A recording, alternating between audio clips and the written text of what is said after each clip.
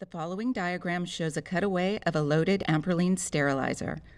The cycle starts with a purge process that removes excess air from the sterilization liner bag. Air molecules, represented by the blue dots, are pulled through the purge probe and exhausted from the system.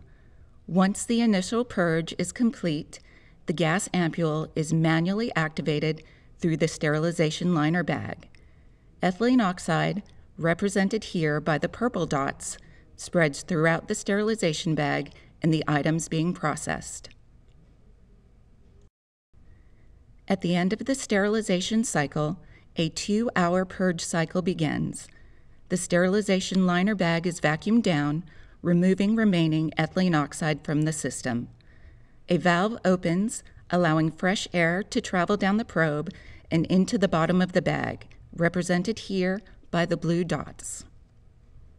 The purge process continues, drawing fresh air across the sterilized products and exhausting it from the front of the liner bag.